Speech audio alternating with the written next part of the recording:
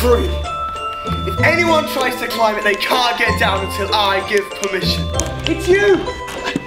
I'll be along in a minute. Uh, do us a favour, would you? Now that you all belong to me, let's go and see what's happening up in heaven. Go away!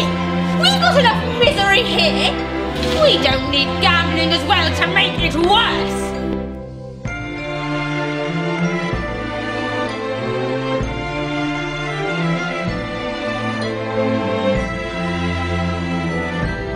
You shall be godfather to my child.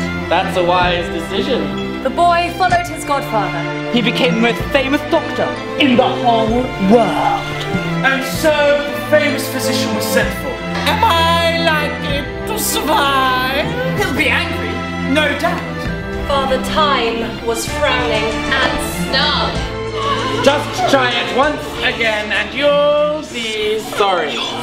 Because I'll take you away with me when I go.